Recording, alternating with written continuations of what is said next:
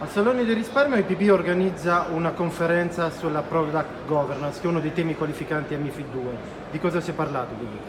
Dunque, si è parlato e si parlerà, a dire la verità, della nuova relazione che deve instaurarsi tra produttori e distributori nell'interesse nell del cliente.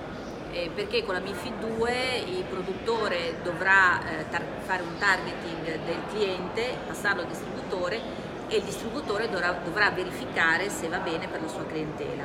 E poi c'è il flusso di ritorno, cioè il monitoraggio di come sono andati gli investimenti, di come sono andati i bisogni della clientela per mettere a punto sempre meglio il prodotto.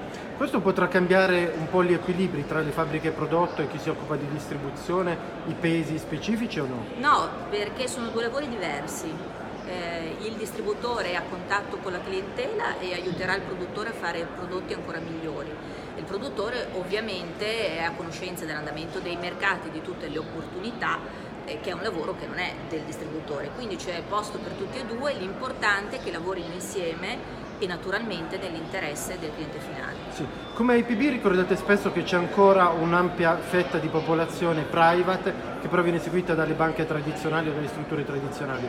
Cosa si può fare per eh, offrire servizi ad hoc? Cosa devono fare gli operatori? Beh, gli operatori devono riconoscere che un modello di servizio adatto per una clientela che ha patrimoni diciamo, complessivi sopra i 2 milioni eh, dà delle garanzie di ricavi interessanti per il distributore, ma anche la, il modo di servire meglio i bisogni della clientela. Noi quello che stiamo cercando di fare è di diffondere questa cultura del private, del private, banking, le caratteristiche distintive del private banking e ovviamente bisogna anche dotarsi di private banker in grado di, essere, eh, di dare del valore aggiunto alla clientela e questo vuol dire formazione, formazione, formazione.